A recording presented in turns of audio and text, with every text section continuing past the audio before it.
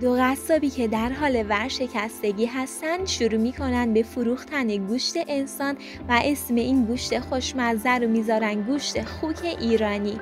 اسم این فیلم آمریکایی Some Like It Rare هست و واسه دیدن نسخه اصلیش به تلگرام ما سر بزنین و این ویدیو رو هم لایک کنید فیلم با مرد قصابی به نام وینسنت شروع میشه که در حال بریدن گوشته و این همسرش سوفیاست. اوضاع فروش مغازهشون هم زیاد خوب نیست و مشتری های زیادی ندارن و همچنین تو آماده کردن و بسته بندی کردن گوشت خیلی کن عمل می‌کنن. بعد اینکه مشتری رفت سوفیا به همسرش میگه که باید سعی کنه سریعتر مشتری رو را بندازه و یهو همون لحظه یه سری گروه فعالان گیاهخوار میان و روشون خون میپاشن و مغازه رو به هم میریزن. وینست میدوه دنبالشون و ماسک یکیشون رو برمیداره و چهرهشون می‌بینه. اما هم گروهی های گیاهخوارش به نجاتش میان و اونو شکست میدن و اون آشفته برمیگرده مغازش. در صحنه بعدی سوفیا در حال گریه کردن کنار دوستش استفانی هست و سوفیا میگه که بانک به اونها وام نداده و مغازشون در حال ورشکستگیه استفانی یکم بهش امید میده اما بعد شروع می‌کنه به لاف زدن که شوهرش چقدر پول خوبی به دست میاره. بعد مشخص میشه که اونا هم صاحب یه قصابی بزرگن که کارو بارشون خوب پیش میره. بعد مارک هدیه برای وینسنت میاره و اون جعبه رو باز می‌کنه و اسلحه ای رو اون تو می‌بینه. مارک اینو بهش هدیه داده تا مقابل گیاهخواران افراطی از خودش دفاع کنه. اما خب متاسفانه فعلا اسلحه مجوز نداره. موقع برگشت سوفیا به وینسنت میگه که به جدایی فکر می‌کنه چون می‌خواد با کسی باشه که بهش هیجان بده. تو همون لحظه وینسنت یکی از اون گیاهخوارا رو می‌بینه که به مغازش حمله کرده بود و می‌خواد یه درسی بهش بده پس دنده عقب میره که یکم زخمیش کنه. اما یهو می‌بینه که اونو کشته. اون وحشت زده میشه و توضیح میده که فقط می‌خواست یکم اونو زخمی کنه. میسل می‌خواست با پلیس تماس بگیره و گزارشش رو بده ولی سوفیا نمی‌ذاره و میگه اونا یه اسلحه بی مجوز تو ماشین دارن و براشون دردسر میشه. اون همچنین میگه که اگه پلیسا بفهمن که شما قبلا با هم خصومتی داشتید فکر نمی‌کنن که یه تصادف عادی باشه. میسل میگه پس حالا چه غلطی کنیم؟ و سوفیا میگه باید مثل قاتل توی فیلم جنازه رو قصه قصه کنیم و اون رو در کیسه های زباله در سراسر شهر پخش کنیم. سوفیا میره به خونه و وینسنت جسد رو به مغازه می‌بره و شروع می‌کنه به تکه تکه کردنش که یکی از گوشهاش میفته روی زمین و سگش اون رو می‌خوره. و انگار بازم گوش می‌خواد. وینسنت یه گوشت دیگه هم میریزه براش رو بهش میده. بعد عملیات میره توی اتاقش اما سوفیا بهش میگه برو روی کاناپه بخواب. صبح سوفیا سعی می‌کنه وینست رو از خواب بیدار کنه اما اون بیدار نمیشه و میگه دیشب تا دیر وقت مشغول بوده. بعد چند ساعت که بیدار شده رفت مغازه تکه های بدنی که خورد کرده بود و پیدا نمی‌کنه. وینست از سوفیا می‌پرسه که ژامبون گوشت رو ندیدی؟ اون بهش میگه که توی یخچاله. همون لحظه مشتری همیشگی اونا میاد تو مغازه و میگه که گوشت اونقدر دوست داشته که باید بیشتر بخره و ده تا برش دیگه هم سفارش میده. حالا جریان اینجاست که این ژامبونه تو دستش جنازه همون یاروه. مشتری با هیجان می‌پرسه که چه ترکیبی بهش اضافه کرده که اینقدر خوشمزه شده. سوفیا میگه که یه تیکه گوشت رو به منم بده امتحان کنم و بعد خوردنش میگه واقعا خوشمزه است. و از وینست دوباره می‌پرسن که گوشتش از کجاست و اون میگه که گوشت خوکش از ایرانه. یعنی لعنت بهشون. مگه اینکه اینجوری بخوام فقط اسم ایران رو بیارن توی فیلماشون. وینست الکی میگه که توی ایران چند تا مزرعه گوشت خوک غیرقانونی وجود داره و یه فروشنده فرانسوی اینا رو براش میاره. بعد از اینکه مشتری رفت اون به همسرش میگه که این گوشت انسانی که ژامبون درست کردمش. وینست می‌خواد بقیه گوشت رو دور بریزه و ناپدید کنه. اما سوفیا مانعش میشه و میگه که واقعا خوشمزه است و فروشش بهترین راه برای خلاص شدن از این گوشت انسانه. همون موقع یه مشتری دیگه میاد و چند ورق گوشت رو می‌خواد و اون روز کلی اون گوشت رو به اسم گوشت خوک ایرانی میفروشن و پول خوبی هم در میارن. شب وینست کمی اون گوشت رو سرخ می‌کنه و تستش می‌کنه. اون شب صوفیه میگه که باید بقیه اون گروه گیاهخوارا رو هم بکشیم و گوشتشون رو بفروشیم تا سود بیشتری کنیم. روز بعد دخترشون دوست پسرشون میاره خونه واسه نهار. اما اون پسر گوش نمی‌خوره و میگه که گیاهخواره سوفیا وینسه تعجب می‌کنن و بعد از دخترشون می‌خوان که یکم غذا بخوره. اما اون هم نمی‌خوره به خاطر دوست پسرش و ازشون می‌خواد که به اون احترام بذارن. پس اونا سعی می‌کنن بهش کیک بدن کوف کنه. اما اونم نمی‌خوره و میگه که کیک هم از تخم مرغ درست شده و گیاهی نیست. و این زوج می‌فهمن که علکی زحمت کشیدن و این همه غذا واسه پسر آماده کردن. اما پسر لوکاس قبل از رفتنش بهش توهین می‌کنه و میگه گاوهای پیری مثل اون قصابی شدن برای گوشهاشون توسط گوشخارای بیرحم.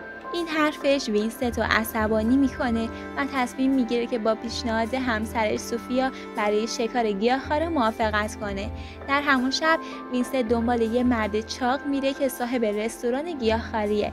اون سعی می‌کنه بهش حمله کنه اما پشیمون میشه و برمیگرده و سوار ماشین میشه و به خونه میرن. اما سوفیا دست بردار نیست. بنابراین اونها میرن توی شهر رو وانمود می‌کنن که مخالف گوشت‌خواران هستن و یه مرد لاغر به سراغش میره و اونا رو به خاطر کار خوبشون تحسین می‌کنه.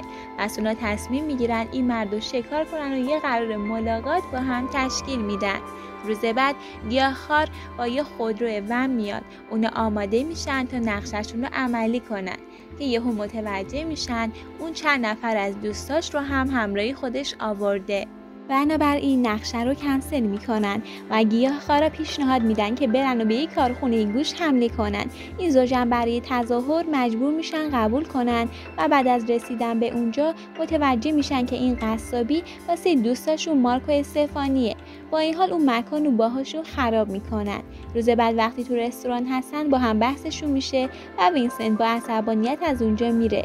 سوفیا تنها اونجا میشینه و گارسون بهش نزدیک میشه و حتی با موتور اونو به خونش میرسونه. بعد سوفیا متوجه میشه که اون یه گیاه‌خواره اونو میبوسه و اونو به داخل خونش می‌بره و به وینسنت میگه که پسر رو بوسیده.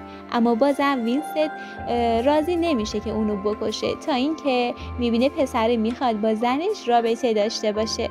عصبی میشه و بالاخره اونو می‌کشه و توی آشپزخونه با هم اونو تیکه تیکه می‌کنن. و فردا صبح دوباره گوشت خوک ایرانی دارن واسه یه فروش و مشتری های زیادی واسه اونا صف میبندن. اما گوشت خیلی زود تموم میشه و بقیه مشتری هایی که توی صف بودن دست خالی برمیگردن. پس اونا شروع می‌کنن به کشتن گیاهخوارا و کشتار روزانه. گوشت زیادی آماده می‌کنن و قیمت گوشت رو بالا می‌برن و سود زیادی ازش به دست میارن و تو ناهار بعدیشون با استفانی و مارک گوشت خوک ایرانیشون رو می‌برن و با هم می‌خورن. اونا هم عاشق طعمش میشن. اما مارک به طور تصادفی چیز رو گاز می‌گیره از وسط گوش که علامت یه پرستار سابقه. اونا شوخی می‌کنن که نکنه شما اونو کشتید و این گوشتشه و بعد شوخی به دعوا تبدیل میشه و بزن بزن حالا تو دعوا وینست گوش مارک رو گاز می‌گیره و اونو حتی میجوه. مارک ترسیده و وحشت زده اونو نگاه می‌کنه و بعد وینست گوشتش رو تف می‌کنه و میگه خیلی بدمزه بود. این زوج به شکار خودشون ادامه میدن و حتی رابطهشون با پولی که با هم به دست میارن بهترم میشه. اما هر وقت وینسنت درباره این صحبت می‌کنه که این کارشون اشتباهه سوفیا بحث و عوض می‌کنه. وقتی این زن و شوهر در حال پیکنیک توی جنگل هستن یه گیاه‌خوار میره پیششون و میگه اونها رفتن جای اونو گرفتن واسه تمرین یوگاش. اونام تظاهر می‌کنن که از اونجا دارن میرن ولی بعد با یه تفنگ میان و کارش رو تموم می‌کنن. بعد سوفی و وینست برای انتخاب طعمه بعدی خودشون به یه جشنواره گیاهخواری میرن که چشم وینست به پسر بچه چاقی میفته و یه جوری نگاش می‌کنه انگار دهنش آب افتاده. ولی چون بچه ازش منصرف میشه بعد اتفاقی اونجا لوکاس اونا رو می‌بینه که کنار دختر خودشونه.